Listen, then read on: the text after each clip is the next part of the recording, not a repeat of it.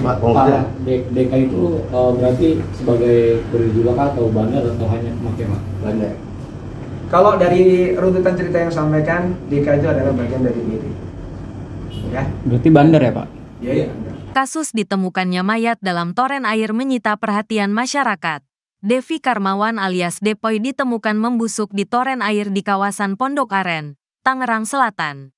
Kini terungkap fakta baru mengenai Devi Karmawan. Rupanya, Devi Karmawan merupakan bandar narkoba. Fakta ini terungkap saat Polsek Pondok Aren menangkap satu pengedar narkoba jenis sabu berinisial AA.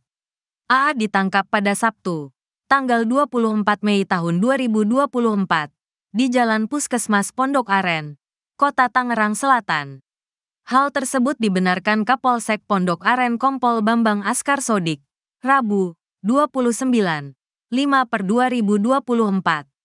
Kalau dari runutan cerita, Deka adalah bagian dari bandar, narkoba, ya benar, ujarnya. Bambang mengatakan awalnya, Pihaknya berhasil menangkap AA setelah mengambil sabu atas perintah seseorang berinisial P pada Jumat, tanggal 24 Mei tahun 2024, di kawasan Cengkareng, Jakarta Barat.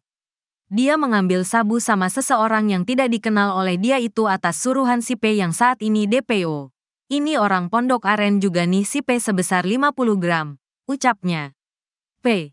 Kata Bambang meminta A mengantarkan barang haram tersebut kepadanya ke sebuah rumah kosong atau tempat depoi di kawasan Pondok Aren, Tangerang Selatan untuk dibagi-bagi. Selanjutnya pelaku juga selain menjual juga pemakai juga. Di tempat yang sama, di rumah kosong itu pada Sabtu kita datangi itu yang berangkutan juga melakukan pemakaian bersama dengan si AA sama si Deka, Depoy, sama si P dan sama si Dwi bareng memakai narkoba. Di situ, jelasnya, Singkat cerita, Bambang mengatakan saat pihaknya ingin menangkap para DPO termasuk Depoy. Polisi tidak menemukan Depoy di rumahnya. Semua kita jadikan DPO, termasuk saat itu juga. Setelah kita mengetahui di rumah si D atau DK kosong, kita balik kanan. Saat itu juga, ya sudah, kita balik kanan dulu, cooling down, tuturnya.